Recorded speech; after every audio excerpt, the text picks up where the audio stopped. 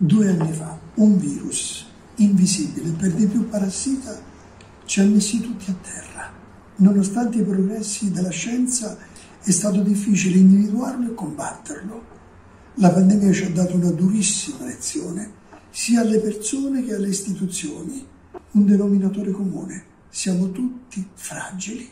Le persone, gli anziani, i bambini, ma anche le istituzioni, i governi, la sanità, la stessa scienza. Quale lezione trarre allora dalla pandemia? Che la fragilità non deve essere una condanna, può avere una sua forza, quella di farci unire, quella di prenderci cura gli uni degli altri. Da solo non si salva nessuno. Per questo ho scritto questo libro, La forza della fragilità, perché se noi invertiamo la tendenza dall'individualismo al noi, noi ne usciremo ancora meglio.